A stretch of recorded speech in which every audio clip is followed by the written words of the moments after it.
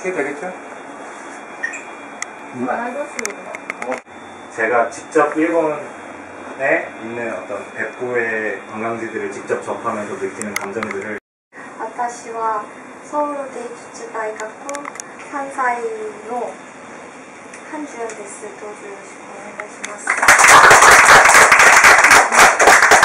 제가 이번에 일본에서 찍을 영화 제목은 나의 일본인 친구입니다.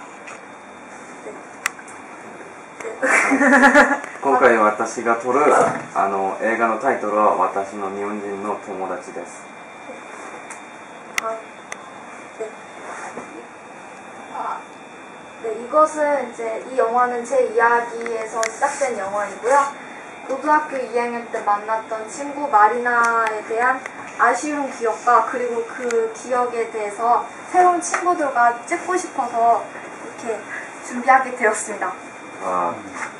今回の映画のストあのシナリオを 는 러브레터 감독에게 보내는 러브레터입니다.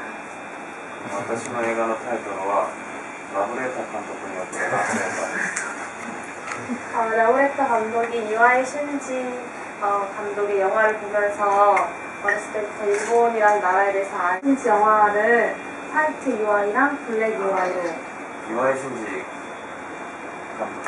映画をホワイト祝いとブラック祝いに分けた分けました。